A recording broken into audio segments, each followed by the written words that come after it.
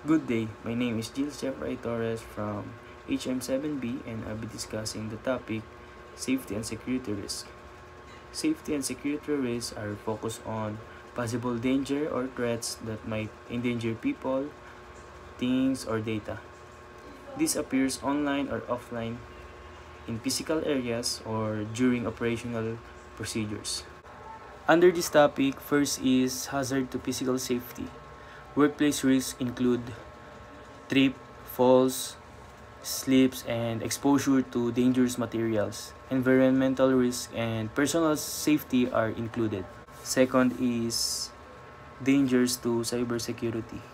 These are known for breaches of data wherein there is unauthorized entry into confidential data. And lastly, number three is under the personal security hazards are production chain disruption and equipment failures which are problems that can cause interruptions in service or human error